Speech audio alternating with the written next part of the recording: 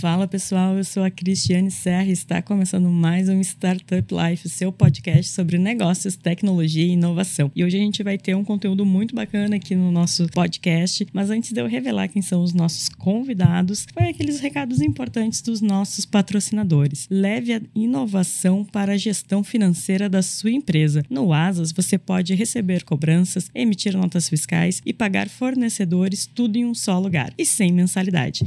Acesse asas.com. Lembrando que Asas escreve a S-A-A-S e escolha a conta digital completa para empresas. E também temos o recado do nosso outro patrocinador, o Task Law. Potencialize o seu departamento jurídico. Com o Task Law, você conta com uma solução eficaz de gerenciamento jurídico, tem acesso rápido e fácil a todas as informações fundamentais para a sua empresa, como demandas, processos societários, contratos e propriedade intelectual. Acesse tasklaw.com.br e melhore a eficiência do seu departamento jurídico. Boa, Cris, boa. Sempre bacana aí que vê a gente entregando os patrocinadores, que eu estava comentando em off aqui com os nossos convidados, a gente começou o podcast no meio da pandemia, porque não tinha problema suficiente para resolver, querendo fazer um MVP gravar só três, hoje a gente já passou aí de 170, então vem atingindo um público bem legal, um número bem, bem interessante, então agradecer aí quem, quem consome o Startup Life, é muito legal hoje a gente também conseguir rodar o show aqui com, com grandes marcas aqui apoiando a gente, então agradeço aí o pessoal do Task Law, o pessoal do Asas, por estarem aqui também acreditando no Startup Life. Mas vamos lá, Cris, então hoje a gente tem aqui duas pessoas incríveis, talvez dentro do ecossistema aí de inovação dentro do Brasil, uma, uma, uma querida amiga aí do ecossistema de bastante tempo, que é a Alana Fernandes, então Alana, obrigado por estar aqui com a gente e também o Thiago Iglesias também está aqui conosco. Vai ser muito bacana compartilhar um pouco do, desse tema que ainda é um pouco. Todo mundo fala um pouco dele, mas pouco se sabe de verdade como funciona na prática. Então, Alana, Thiago, por favor, se apresentem novamente. Obrigado por estar aqui com a gente no Startup Life. Obrigada, Lucas. Obrigada pelo convite. Prazer estar aqui, né? Acho que acompanho o trabalho de vocês faz bastante tempo. O Lucas é um amigo de bastante tempo do ecossistema gaúcho. É, hoje eu estou na Liga, eu lidero a área de operações lá, né? Então, toda a parte de execução dos projetos mesmo de Open Innovation, eu estou à frente do time e também sou sócia lá, participando de vários momentos uh, importantes que a empresa vem tendo nos últimos anos. Prazer estar aqui, sou gaúcha, acho que é um detalhe gremista, importante é um também. detalhe importante. E gremista, e gremista. Mais importante ainda. Acho que só o Thiago não é gremista nessa sala, mas tudo certo. Há, há controvérsias, né? já levou ele na arena? Ainda não, mas umas camisetas já tem, jogos já, já tem no currículo, se importa, né? Ah, tem Libertadores esse ano, tem que ir. Assistir alguns jogos no estádio, com certeza. Pessoal, muito prazer, obrigado novamente pelo convite. É, eu sou o Thiago Iglesias, hoje eu estou ali como head do Torque Labs, que é braço de inovação aberta ali do Torque, que é o núcleo de inovação para o mercado financeiro aqui do, do, Brasil. A gente nasceu dentro da Sinqia, que hoje, enfim, faz parte do grupo Evertec, fomos recém, recentemente adquiridos ali pela Evertec. Estamos expandindo aí o Torque, esse núcleo de inovação para a América Latina, além do Brasil agora também. Já trabalhei na Liga também, na Liga Venture, já tive startup também no passado, tive duas startups, comecei essa trajetória de startups ali em 2012, quando eu saí da, da Siemens. Hoje eu também gosto muito do o tema de inovação aberta, é um tema que eu gosto bastante, além do trabalho, eu também pesquiso o tema, eu estou terminando meu doutorado na área aqui na, na USP, aqui em São Paulo. É, sou São Paulino, já que a gente está é falando tricolor, de futebol aqui, né? alguma Torço. São Paulo também, tricolor. Estamos ambos na Libertadores aqui, né? Grêmio de São Paulo, mas vai ser um prazer aqui poder conversar um pouco mais com vocês sobre o tema. Legal, pessoal. Obrigado aí novamente pela presença de vocês. Vamos então começar da, da primeira pergunta, né? Do passo zero. Queria perguntar para vocês o que, que é inovação aberta. Então, queria que vocês desmistificassem um pouco o que, que é, se é de comer, se não é. Queria que vocês dessem um pouco dos dois centavos de vocês. Legal. Acho que antes de falar de inovação aberta, é importante falar de inovação fechada, né? Porque se tem uma aberta é porque tem uma fechada. É.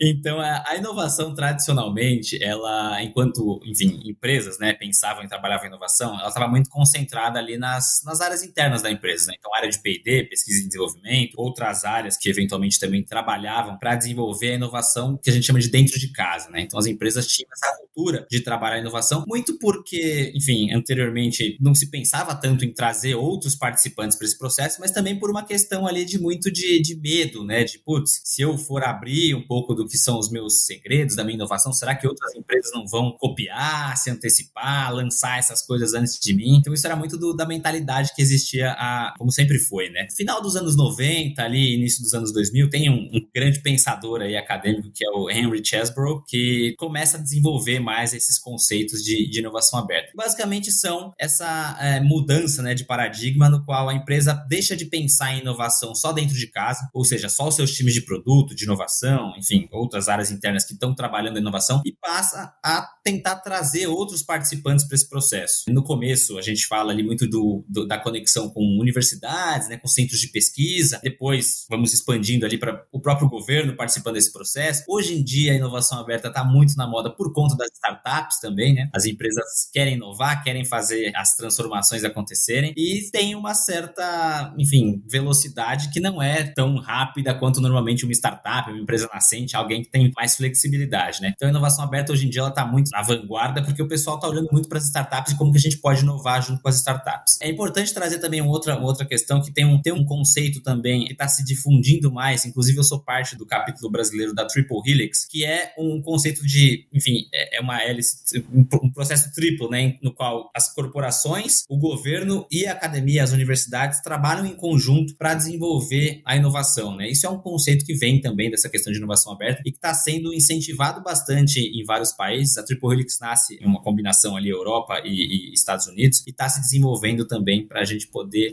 é, trazer mais conhecimentos e melhorar ainda mais o processo no qual as empresas fazem a inovação. Então, resumidamente, é abrir ali as paredes, as portas da empresa para trazer outros participantes e inovar em conjunto, né? Duas cabeças, três cabeças, quatro pensam melhor do que uma, né? É, eu acho só complementando o que o falou, eu acho que uma, uma coisa relevante de se falar, principalmente para quem está nos ouvindo, é que essa relação de agentes externos da, da empresa, da grandes, das grandes corporações normalmente, é para ser uma relação ganha-ganha, não uma relação simples de fornecedor, é uma construção conjunta.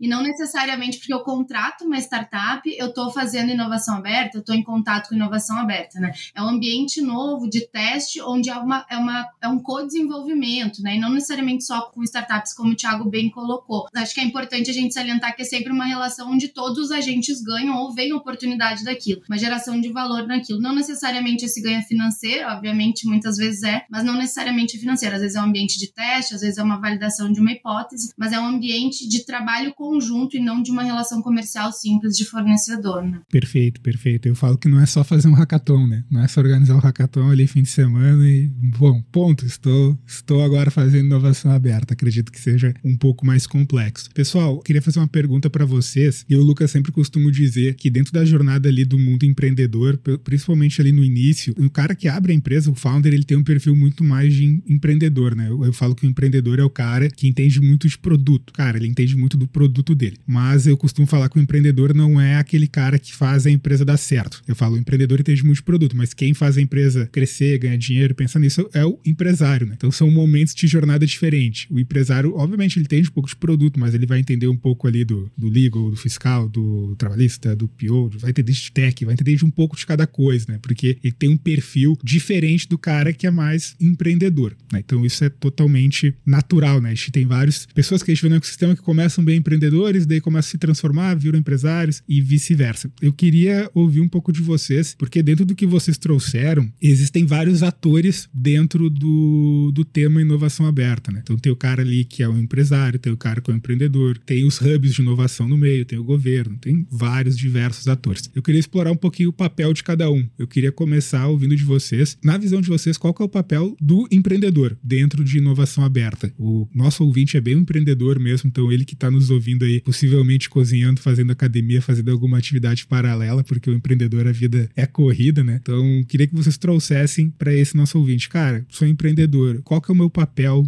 inovação aberta é algo que é só para as corpes? Eu tenho algum papel no meio disso tudo? Queria ouvir um pouco vocês. Bom, acho que eu vou começar e vou puxar já para o meu lado aqui, que é justamente a relação que a gente trabalha muito lá na Liga, né? Que é a relação entre startup e corporação. E aí, Lucas, até uh, concordando com o que tu falou, né? A gente vê muito o que, que faz as startups dar certo, em sua maioria, né? Não tem um segredo, não tem uma fórmula mágica, mas uma tendência que a gente vê clara é um time complementar, como, como tu bem falou, né? Então, ah, tem uma pessoa que entende muito de produto, de tecnologia, mas a gente precisa de alguém com uma visão de negócio dentro da, da, da startup, dentro do time, né? De quem vai estar tá atuando. Então, isso é extremamente importante. E mais importante ainda, quando a gente está olhando justamente para projetos desenvolvidos com grandes empresas, dentro desse ecossistema de inovação aberta. Então, o que, que a gente precisa muito? É que esse empreendedor, essa pessoa dessa, dessa startup, não necessariamente sempre é um empreendedor, mas pode ser alguém do time, alguém que está chegando agora ali com um contrato de sócio, de vesting, que está querendo ganhar espaço dentro. É uma flexibilidade, né? Nem sempre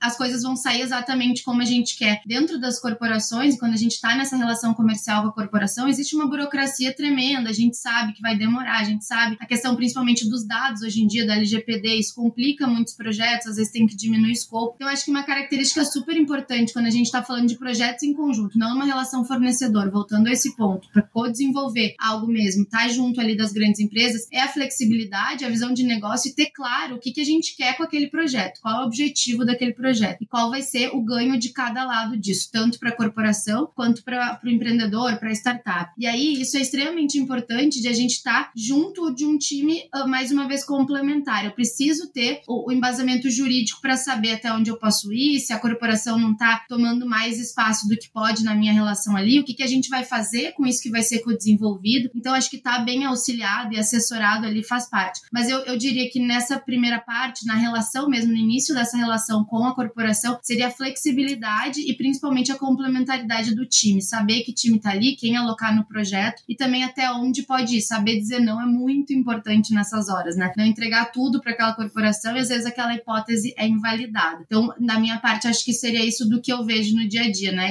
Eu vejo muito já num terceiro papel ali. Nossos clientes são as corporações os empreendedores são nossos parceiros. Então, a gente está ali tentando dar esse match que a gente briga. O Ti já está do lado da Corp, que é um ambiente completamente diferente, né? É, eu acho que um ponto que eu, se eu pudesse destacar aí pro, pro pessoal que tá, tá ouvindo a gente, o empreendedor que tá ouvindo a gente, eu acho que vai trazer um diferencial grande em, em relação a outros potenciais empreendedores que poderiam desenvolver uma iniciativa ali de inovação aberta como corporação, é um, um papel de, de, de, provocador, sabe? De, uma pessoa que provoca ali um pouco dos, do status quo, do, do, do conhecimento que está dentro de casa ali, né? Porque muito das, enfim, grandes vantagens que uma corporação tem a hora que ela trabalha uma estratégia de inovação aberta, ela abrir a caixinha, né? É, às vezes enfim, dentro de corporações, as pessoas às vezes têm trajetórias ali de anos dentro da empresa, têm um modus operandi, já fazem as coisas da mesma forma, pensam do mesmo, do mesmo, no mesmo formato também. Então, a partir do momento que você traz uma startup, né, um empreendedor, uma empreendedora, para desenvolver, pensar em, em, em, soluções inovadoras em conjunto, eu acho que provocar mesmo sobre, putz, será que precisa ser dessa forma? Será que a gente não pode fazer desse outro jeito? Olha, a gente testou ou viu alguém testando desse outro formato. Então, trazer essas provocações, eu acho que vão, vão trazer um, um valor legal para essa possível interação ali com a, com a corporação, né? Para o pessoal buscar depois outras possíveis interações futuras. É, então, acho que esse papel de, de, de tentar provocar mesmo, é, ele é bem interessante. E da mesma forma, eu acho que tem um, uma questão que muitas das vezes que as empresas, né, as grandes empresas estão buscando essas, essa, interação, essa iniciativa com, com uma startup, elas estão querendo de alguma forma acelerar o seu processo de inovação, o seu processo de desenvolvimento dentro de casa. Então, garantir essa, essa capacidade de execução, essa velocidade de execução é algo que é importante. Não necessariamente o empreendedor, a empreendedora é quem vai estar tá botando a mão na massa. É, em algumas atividades, inclusive, vai ser a corporação que vai ter que fazer algum processo de integração, etc. Mas se alguém que está ali provocando, pedindo velocidade, querendo que a coisa aconteça e que saia com mais velocidade, eu acho que isso também vai ser bem visto. Porque às vezes a corporação também tem uma velocidade diferente, isso pode também, é, enfim, fazer o processo frustrar. demorar um pouco mais. Exato. Frustra... O empreendedor tende a se frustrar mais num processo desse, porque ele vai querer ser mais ágil do que a corporação. Mas fazer esse papel de tentar acelerar, às vezes parece até ser, tá sendo chato, mas o pessoal da corporação executiva, às vezes ele quer isso mesmo, sabe? Putz, alguém que venha, que provoque ele, que provoque o time dele para fazer a coisa andar mais rápido. Então, acho que essas duas questões aí de, de, enfim, provocar enquanto ideias e também tentar ser alguém que está garantindo uma execução com velocidade, cobrando o pessoal para fazer aquilo acontecer, são duas, dois pontos importantes aí que eu acho que trazem um diferencial para o papel do empreendedor. Talvez vocês até conheçam isso. Esse podcast já tem um caso de sucesso de Open Innovation, né, Cris? A gente, até é legal vocês saberem, tem um. Eu falo porque quem está ouvindo pode scrollar um pouco e voltar uns episódios. A gente gravou aqui um tempo atrás com o pessoal da Motorista PX e o cara da Open Innovation da Gerdau estava na academia ouvindo nosso podcast e ele gostou muito do que ele ouviu, o cara da Motorista PX no podcast. Resumo, eles se conheceram, fizeram uma POC, fizeram um negócio, deu certo, e depois eles voltaram aqui os dois no, no Startup Life e gravaram, um mostrando a história de sucesso do lado da Corp e o outro mostrando da parte do empreendedor, né? Ambev, falei Gerdau, Ambev. Então foi muito bacana porque foi uma história de sucesso que acontece, por isso que eu falo, podcast às vezes também gera negócio, né, Cris? Não, muito legal, muito legal.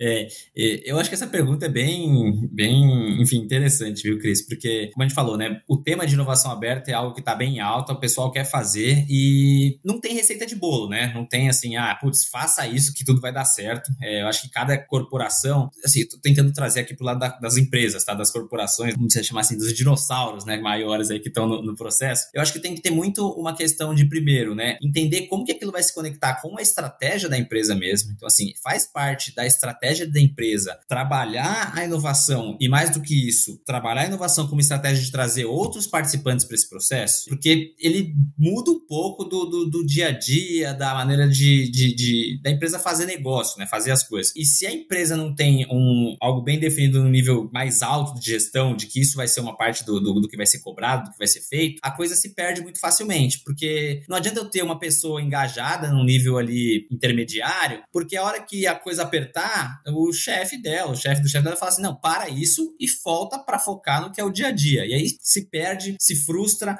e às vezes para a empresa em si, a frustração ela não é tão grande quanto ela é para os outros agentes que estão participando. Putz, às vezes a startup dedicou um baita de um tempo, às vezes a sei lá, se conectou com uma universidade, tem um grupo de pesquisa que está focado naquilo, putz, é, o pessoal está, enfim, estudando, pesquisando aquilo, é, é, uma coisa que a pessoa gosta, né? Ela vai também, putz, cortou verba, não vai continuar com o projeto, frustra bastante gente, e essa questão da frustração para as outras partes, ela, às vezes a empresa acaba não pensando que, no final, é, a imagem da empresa vai ser impactada também, né? Porque quando ela futuramente, de repente, voltar a querer fazer uma iniciativa de inovação aberta, ela vai também, talvez, encontrar uma barreira que, putz, ah, já tentamos com aquela empresa, não deu certo certo. É, conversando com aquele startup que participou do processo, porque o mercado acaba se falando bastante, né? Então as startups, as startups conversam, as universidades, enfim, eventualmente até questões de interações com o governo também rolam as comunicações e, putz, já tentamos com aquela empresa no passado, não deu certo. Então, assim, primeiramente acho que é entender se faz parte mesmo da estratégia, se tem, é, acho que esse, esse buy-in, né, essa, esse, esse sponsor mais de alto nível, para que a coisa não desande, não seja despriorizada, tá? É, a partir daí, eu acho que tem, assim, diferentes níveis de, de execução mesmo de uma, de uma iniciativa de inovação aberta, né? É, a gente pode trabalhar eventos primeiro para relacionamento, para tentar, a partir dali, se conectar primeiro e, e entender um pouco de como fazer as coisas de uma forma diferente. A gente pode pegar iniciativas com POCs, pilotos menores para a gente desenvolver. A gente pode plugar diretamente na área de PD, já com uma verba maior para tentar fazer a coisa se desenvolver. A gente pode ir para um caminho de uma joint venture como, como startup. Tem, tem, tem caminhos que vão. CVC é um caminho, Thiago? CVC é um excelente caminho também. CVC é um excelente caminho. A gente, inclusive, ali no, no Torque tem o nosso, o nosso Corporate Venture Capital ali também. É, de novo, da mesma forma, o CVC, estratégia. Se não, muito fácil da coisa desandar. A gente está agora no processo de, de expansão ali do nosso CVC CVC do, do Think Evertech para a América Latina, né? a gente tava no, eu estava no Chile semana passada, a gente está começando esse processo, e uma das coisas que a gente tem compartilhado muito com o pessoal dessa, enfim, alçada maior agora de América Latina é que, assim, CVCs, historicamente, eles têm ali um, um ciclo de vida, empresas, de 3 a 5 anos. Se eles passam dessa marca, eles tendem a ter perpetuidade, senão eles caem. Por quê? Porque as empresas às vezes não entendem a complexidade da inovação aberta, desses, desse relacionamento de investimento mesmo startups, que ela não é imediatista. Ela tem um processo de, de, de, maturação e de retorno no longo prazo. E mandatos de empresas às vezes são curtos. E aí troca alguma coisa, a pessoa fala, putz, isso aqui não deu retorno, eu vou cortar. E aí mata a iniciativa toda. Não é mais prioridade, já matam. Exato. Por isso que essa questão estratégica é uma coisa muito importante. E depois disso, entender, às vezes com o apoio de uma Liga Ventures, de outras que fazem também esse processo de, de desenvolver né, as iniciativas de inovação aberta junto da empresa, para mostrar como começar, até onde ir no primeiro momento, aprender e depois evoluir. Acho que esse, essa consciência de que há um processo de evolução e de que isso tem que estar tá enraizado no, no que é a estratégia a vontade da empresa, é, acho que é o primeiro ponto de, de se considerar aqui nessa, nessa questão. É, eu concordo, eu trago um ponto também, porque eu acho que é a gente fala bastante disso, está na estratégia isso descendo, né, para as outras áreas da empresa. Mas acontece muito também de uma área ter uma iniciativa de começar a se relacionar com a startup e isso vai sensibilizando a empresa de uma forma geral, né? Então eu começo a procurar a liga ou em eventos, ou procurar outras empresas em eventos, começo a me relacionar com startups, com desenvolver, testo ali provas de conceito, vai dando certo, eu vou vendendo isso para a empresa, culturalmente isso se espalha e se cria uma governança. Acho que o mais importante é isso, justamente por essas trocas que a gente tem muito nas, nas empresas, é estabelecer uma governança. Isso dá sim para ir culturalmente se espalhando. Não necessariamente todas as empresas que a gente tem como case de inovação aberta tiveram claramente isso na estratégia, isso foi descendo. Muitas vezes surge dentro de uma área,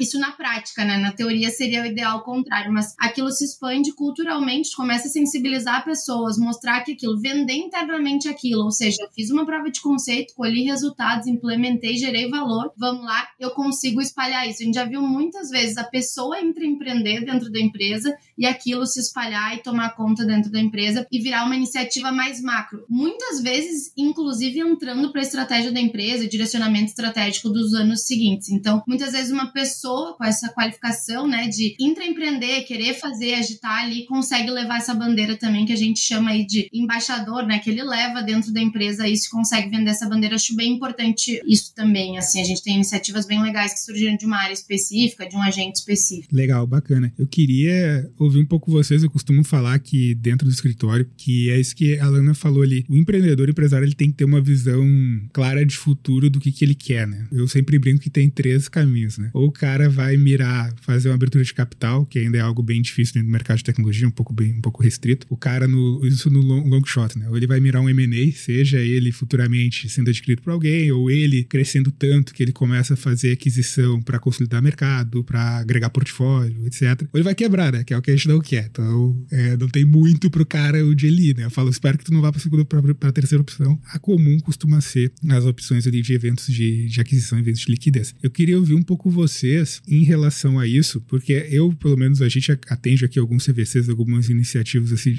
de consultoria, e eu vejo muito que o empreendedor ele chega já querendo fazer a pó, o cara já tá pensando em ser adquirido. Cara, calma, não é, não é assim, não é do dia pra noite, né? Não é algo tão simples. E é um trade-off legal, eu queria também ouvir o Thiago, porque a Corp, ela consegue entregar para essa empresa ali que consegue ter um desenvolvimento mais ágil, ela consegue entregar toda uma estrutura, muitas vezes, de backstage, de apoio, para que ela cresça numa velocidade muito maior. Ah, vou te uh, auxiliar com uma equipe de comercial, com uma equipe, às vezes, de backstage ali, de jurídico ou outras áreas, para que você consiga, de fato, se preocupar só com o produto, só com o crescimento aqui dessa área ou desse produto específico, e eu te apoio com essa outra, outra parte, que também é importante, mas você fica com esse lado. Eu queria ouvir um pouco vocês se a parte de M&A acaba acontecendo muito e se isso no início ali acaba sendo um desejo ali das duas partes ou isso vai acontecendo naturalmente no meio da jornada. Eu acho que é, a gente tem falado bastante nisso, né? O ano passado a Liga lançou também a parte de M&A e transações, então foi algo que a gente foi entrando no mercado, acho uma tendência de mercado também. Eu acho que o principal ponto nesse sentido que fala é ter clareza do que que tu quer com o futuro da empresa e, e acho que a vida também. A gente sabe que a vida do empreendedor é uma loucura. Então, em termos de vida, o que que eu quero, né? Às vezes a empresa está estruturada, o cap table tá limpo, a empresa está indo bem. Assim, o que que eu quero agora? Eu quero de fato um investimento porque vai ter mais alguém aqui botando força e velocidade para que eu cresça, que eu bata a meta e aquilo ali tá, tá estruturadinho até agora. Eu quero de fato vender a minha empresa, ficar mais dois anos e depois me aposentar com 30 anos de idade, ou eu quero continuar aqui, crescer mais um pouco e ir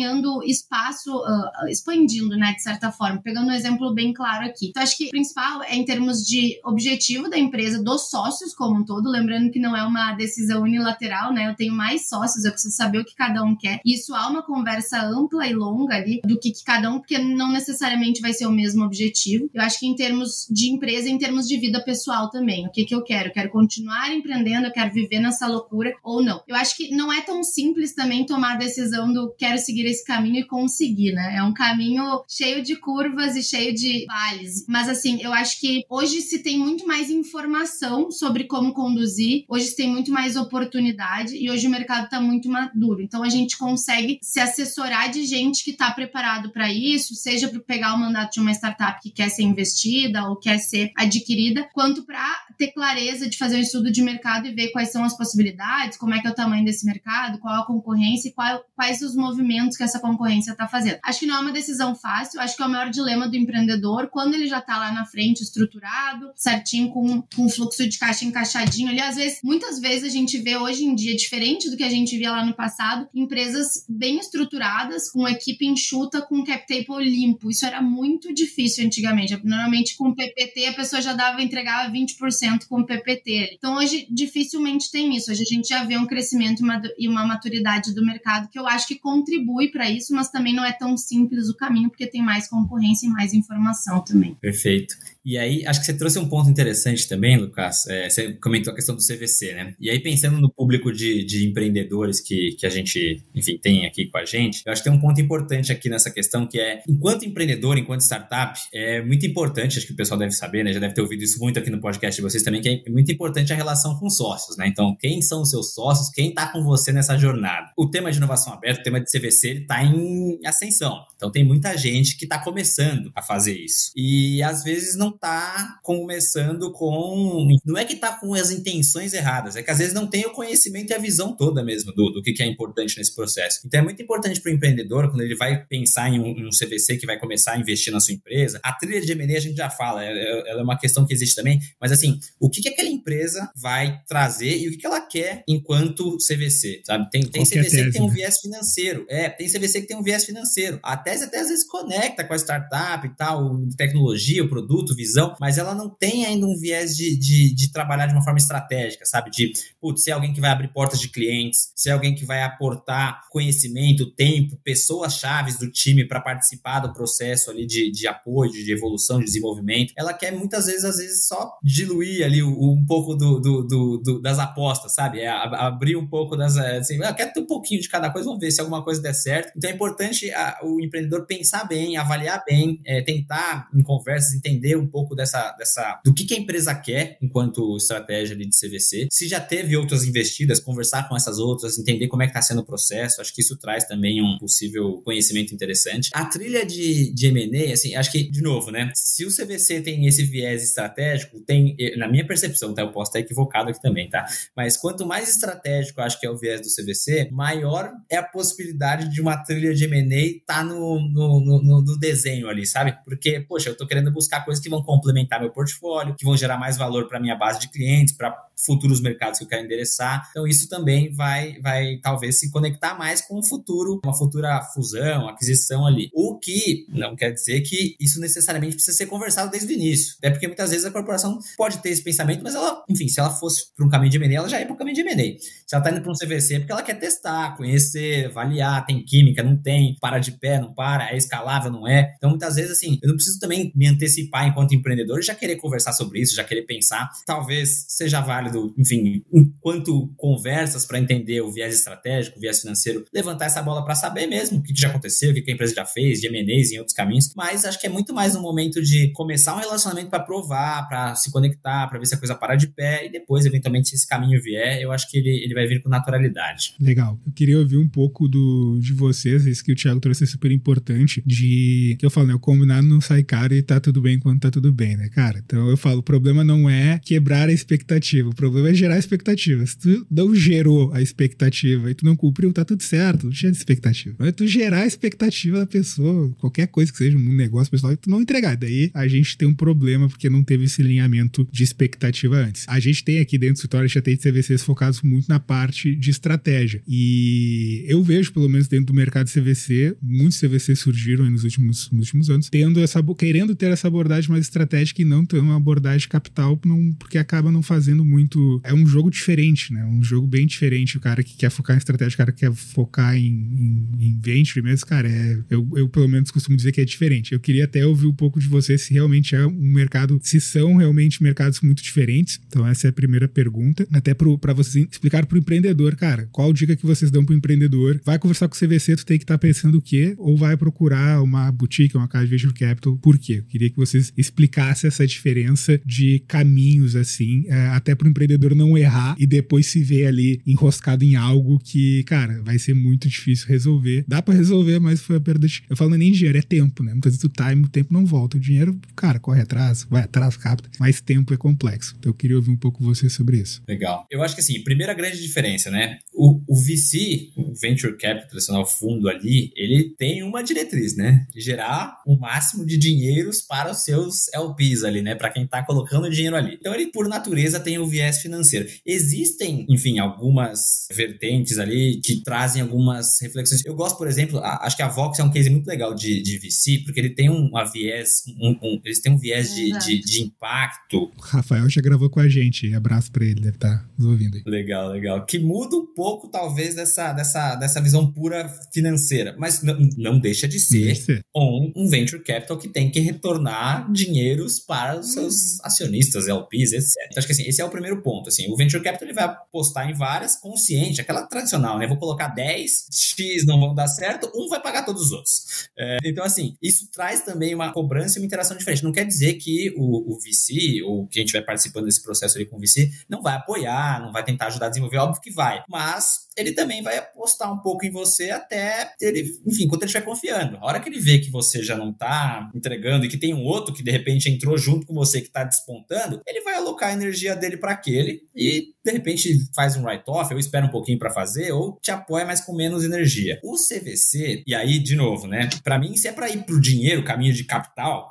é, sem pensar em estratégico, eu iria para um VC ao invés de um CVC. Porque, porque o, o VC, ele não vai te trazer, porque o CVC ele traz outras complexidades, que, que normalmente também assim, a startup vai trabalhar com o CVC porque ela tem uma visão de que aquela empresa vai ajudá-la. Então, assim, provavelmente ela é uma empresa que está conectada com o mercado da startup, o que pode ser um problema por potenciais competidores daquela empresa, daquele CVC, né? Então, assim, você pode também, às vezes, fechar mercado porque você tem um CVC como investidor. Perfeito. Então, é, isso, isso tem que, isso com VC, com VC dificilmente vai acontecer. É, então, assim, acho que esse é, é um primeiro ponto enquanto visão de capital. É, enquanto visão ali de, de CVC, se eu estou indo para um CVC ali, eu acho que tem esse caminho de entender, né, o, o, o lado estratégico que está participando, que está se engajando, uhum. e o quanto que eu acredito que, poxa, se essa empresa estiver comigo, eu vou conseguir ser a startup que eu acho que eu posso ser ou que eu gostaria de ser e que talvez sozinho eu fosse demorar X mais tempo. Então, assim, eu olharia enquanto é, startup, talvez. É difícil responder, tá? Mas assim, se eu tivesse que colocar. Você já teve startup, Thiago.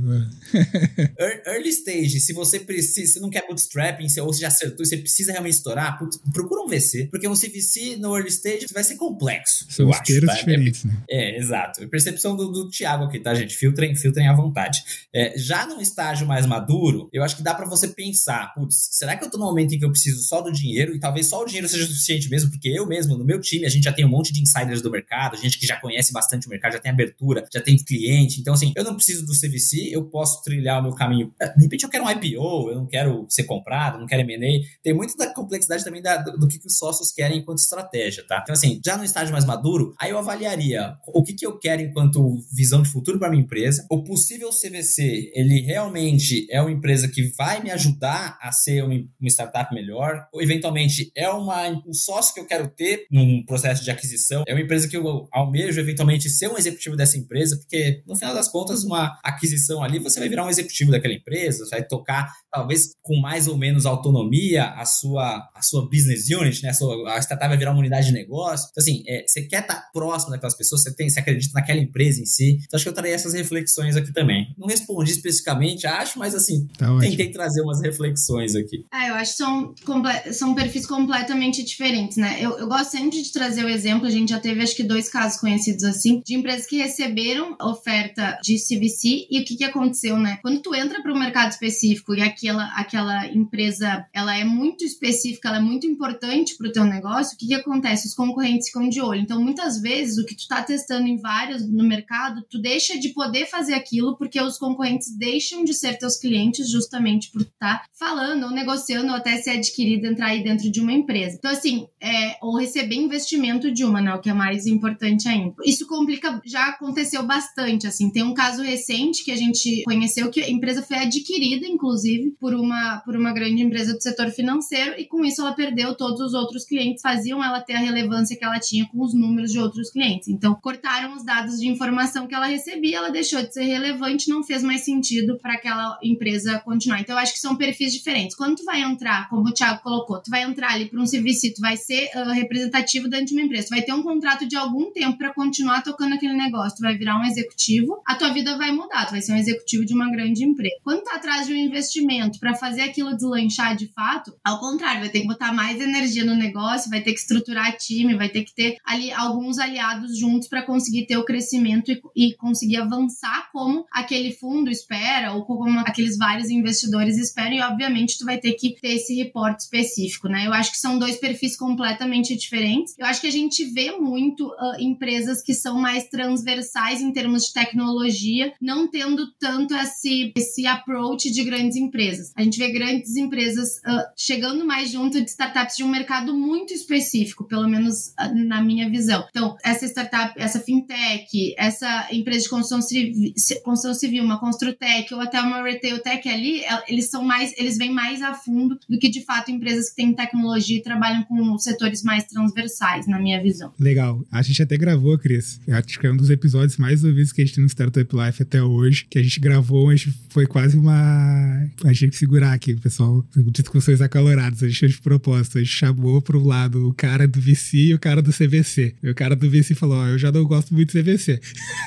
o podcast foi muito bom, porque era um defendendo seu peixe pro empreendedor. Cara, por que, que tu tem que vir pro VC? Por que, que tu tem que vir pro CVC? Então depois, quem ficou curioso, é um episódio um pouco antigo, faz um, um ano e meio, dois que a gente gravou. Mas é um episódio com dois players bem, bem relevantes aí do ecossistema, que foi bem, bem legal. Por isso que eu, eu comentei isso. Porque é uma briga boa, é uma briga é uma boa. Uma briga boa, porque isso que eu queria até, puxando, né? Por que eu falei isso? Porque eu queria ouvir um pouco de vocês. Hoje, é, pessoal, tem muito, muita concorrência. Eu não tô nem falando das startups, eu tô falando de programas de inovação ou de empresas, é, corpos que estão querendo fazer isso. Vejo direto aqui no escritório, cara, em startup X ali tá chamando atenção, vem a, a, o programa de inovação, a corp, que seja, querer falar com ela, putz, já tô falando com três, quatro ao mesmo tempo aqui. Espera um pouco que já chegaram na minha frente, questão de minutos, já o cara já tem cinco, seis, oito alternativas. Então, isso também eu queria ouvir um pouco de vocês, como o que, que o empreendedor deve prestar atenção num universo que hoje ele tem muita abundância, né? Óbvio, ano passado deu uma, uma fechada não nas oportunidades, mas uma, um certo rigor para fazer de forma não tão, não vou não é nem essa palavra de forma, mas nem tão amadora, né? Talvez até seja, porque teve muita gente que entrou nesse mercado querendo vão-te embora e, e, acabou dando problema. Então eu queria ouvir um pouco vocês, que, dicas que vocês dão para o empreendedor saber escolher, porque hoje tem muita alternativa, tem muita opção e muitas vezes ele não sabe direito e ele se coloca num pedestal, né? Estão colocando ele no pedestal e, cara, calma, não é tão simples. Então eu queria ouvir vocês um pouco de como que o empreendedor pode fugir dessas armadilhas. A gente sabe que o empreendedor hoje, a maioria pelo menos, tem um time enxuto, né? Um time pequeno. Então a gente, o que se fala é priorização, eu acho, né? Acho que quando for escolhendo desses programas, dessas, desses, tem vários hoje em dia, né? E tem muitas oportunidades. Eu acho que é, é priorizar, mas principalmente o que, que eu posso agregar naquilo. Eu acho que quando tem desafios específicos, qual a sinergia que eu tenho com aquele desafio? Eu acho que muitas vezes a quantidade, ela não é necessariamente o que vai te fazer a diferença. Tá, ser visto, para ser lembrado, acho que não necessariamente. A gente vê cada vez mais as corporações, elas de fato estão com uma maturidade grande, conhecem mais startups, as próprias áreas já não precisam das áreas de inovação, já vão direto para o mercado e conhecem por indicação. Então, assim, onde eu posso resolver de fato um problema, onde eu posso fazer diferença, onde eu consigo agregar. E eu acho que daí olhar para o lado assim, eu já fiz isso em, outra empresa do mesmo segmento, onde eu tenho um case e levar isso adiante, eu consigo replicar esse modelo que eu já causei numa grande empresa em outras empresas, isso ajuda muito também na hora de selecionar os programas das grandes empresas ou até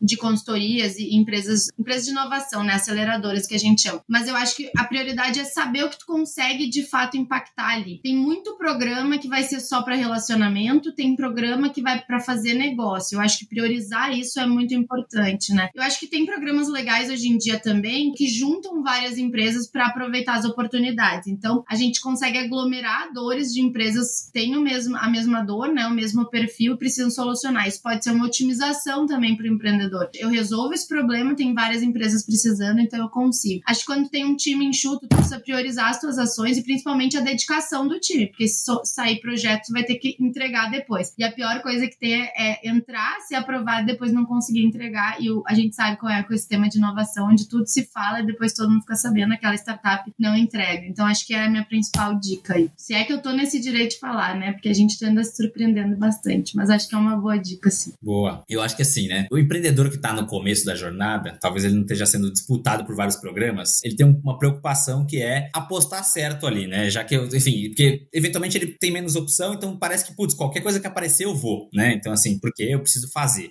Acho que a, a, nesse momento a preocupação é talvez um pouco diferente da, do que está sendo muito requisitado e tem que escolher entre um ou outro programa, tá? Então, assim, para esse primeiro caso, que é um empreendedor que está querendo fazer qualquer coisa, entre aspas, né, para abrir mercado, para começar a ter cases, eu acho que tem uma questão aqui que é assim, a empresa que está fazendo aquilo, aquela iniciativa, né, seja, acho que indo para uma linha de CVC ainda é mais complexo, mas pensando até nas coisas mais simples, né, programa de, de inovação aberta, programa de aceleração, programa de negócio, que seja, é assim, procura saber se é o primeiro, assim, a empresa nunca fez nada, é a primeira vez que está fazendo, se é esse o caso, eu acho que assim, o principal é conversar com quem é que está liderando essa iniciativa, né, porque assim, não focar, na, acho que menos na empresa, porque assim, a empresa no final, é, enfim, é um grande emaranhado de pessoas, mas a coisa vai acontecer pela liderança da pessoa, da, da área que está puxando aquilo. Então, assim, conversar com essa pessoa mesmo e entender o que, que ela vê enquanto um programa de inovação, o que, que ela espera enquanto é, outputs, resultados desse programa, que acho que ali vai dar para ter uma percepção de que se a, se a, assim, se a coisa vai para frente ou não vai. Óbvio que no final a pessoa vai querer se vender, né? Então, assim, é, mas tentar a partir dali puxar e extrair um pouco de informação. Idealmente não é o primeiro programa, já foram feitas outras iniciativas, não é a primeira iniciativa, né? Conversar com as startups. Quem já participou, quem já teve relacionamento com essa, com essa corporação, como é que foi? Foi com essa área, foi com essa pessoa, foi com outra? É, porque, enfim, acho que ali você vai conseguir capturar informações interessantes. E assim, empreendedor tá, é, adora conversar com outros empreendedores. É, é, é, é, um, normalmente é uma pessoa muito aberta para trocas, para a gente aprender junto, né, enquanto empreendedor. Então, assim, não tenha medo, procura no LinkedIn quem é a pessoa, vai lá, manda mensagem, é, pergunta para alguém da sua rede que vai conectar e tenta entender como é que foi. acessíveis nesse sentido, assim. Exato, exato.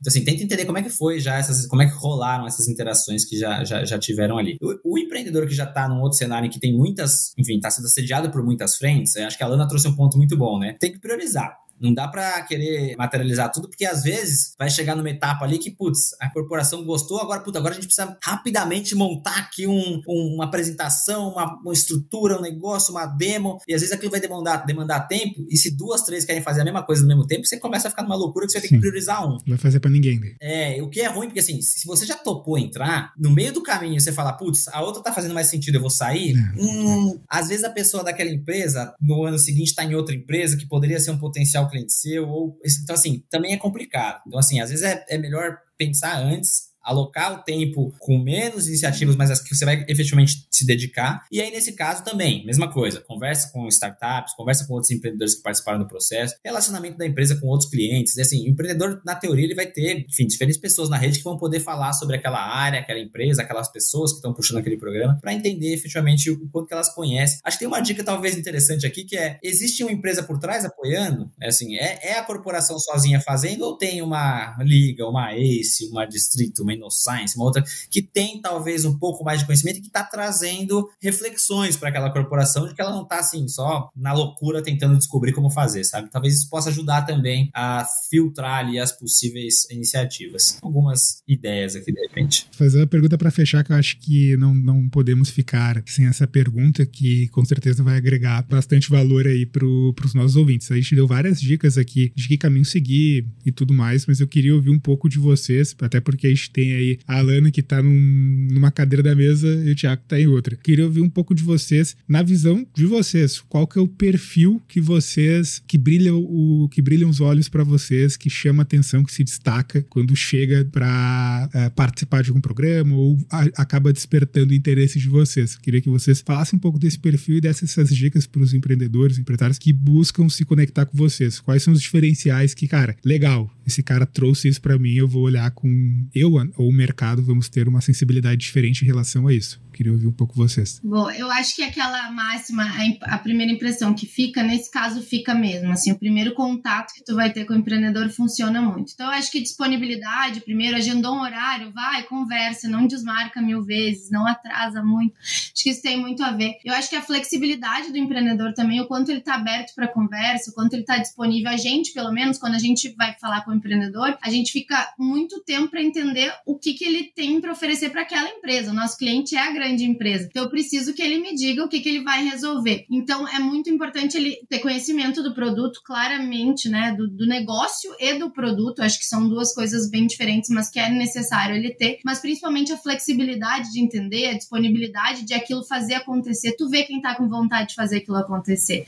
Ah, eu quero resolver, eu vou resolver desse jeito, eu consigo fazer isso. Te mostra material. A pessoa não, não tem preguiça de fato de mostrar o que tem para resolver aquele problema. Então acho que é o principal, assim, a disponibilidade, a flexibilidade, principalmente estar tá aberto à conversa. Às vezes as oportunidades surgem de onde a gente não espera. Então, o empreendedor ser disponível e estar tá disposto a ouvir de fato faz muita diferença aqui do nosso lado e, e a gente vê que também quando a gente leva para aproximação com os executivos e executivas das grandes empresas, isso acaba se confirmando bastante. E o Ti tá desse lado aí da Corp também. Eu acho que são pontos muito relevantes também. E acho que tem um outro ponto, assim, que é complementar interessante, assim, né? Ao mesmo tempo que a parte de saber ouvir e buscar ouvir é importante. Fazer perguntas e perguntas inteligentes também é muito interessante, né? Então, assim, é, de novo, né? A corporação muitas vezes ela quer alguém que vai provocar, que quer trazer visões diferentes tal. Então, assim, meio que tá dado que, assim, é uma pessoa que conhece daquilo que ela tá fazendo, assim. Então, se você é um empreendedor que não tem ideia do que tá fazendo, acho que vai ser mais difícil de você se materializar enquanto empreendedor, enquanto startup. Então, assim, então já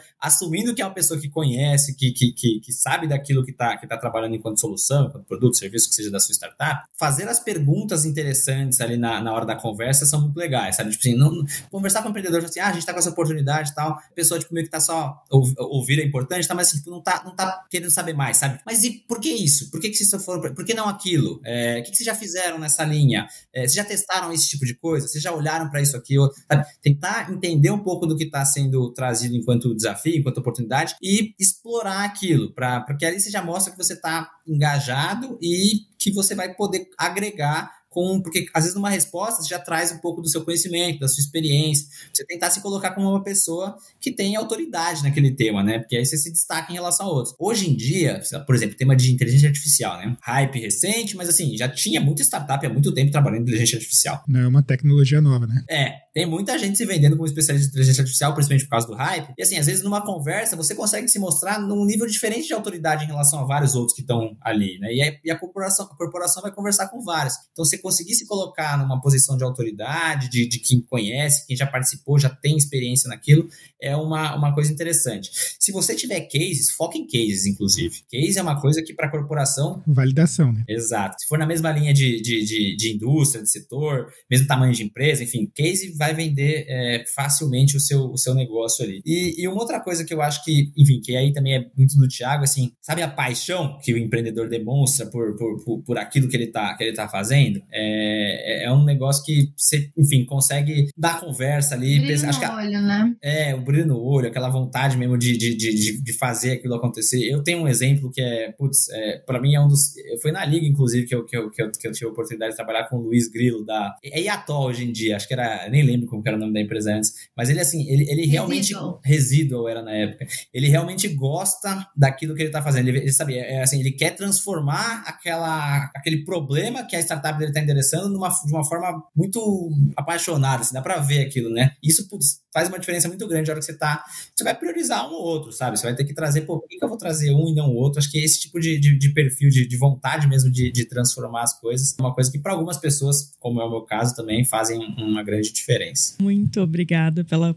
companhia de vocês aqui. Com certeza o pessoal que está ouvindo tiraram muitos insights. A gente abre agora também para vocês deixarem suas considerações finais, deixarem contatos. É o momento de jabá. Boa. Então, pessoal, primeiro agradecer a vocês, Lucas. A gente, nossas conversas são uma loucura, mas obrigado pelo convite. Finalmente saiu, a gente conseguiu aqui se falar. Obrigada, Cris, também por todo o apoio antes. Eu acho que eu trabalho na Liga, né? Então, quem não conhece a Liga, Liga Ventures, a gente tem aí a primeira aceleradora do Brasil de inovação aberta. Então, a gente trabalhou isso há muito tempo e hoje a gente também tem esse braço de investimento e transações, né? Então, quem não nos conhece, LinkedIn, uh, tudo é Liga Ventures. E para quem quiser também mais informação, eu tô super à disposição. Meu LinkedIn também é Alana Fernandes. Podem me contatar que vai ser um prazer bater um papo. Obrigada pelo espaço mais uma vez. Da mesma forma, agradecer aqui a oportunidade, Lucas, Cris, Matheus que está aí por trás e outros que estiverem envolvidos no processo também. Verdade. Muito obrigado pela oportunidade de participar aqui. Bom, eu tô no LinkedIn, Instagram também, Thiago Iglesias,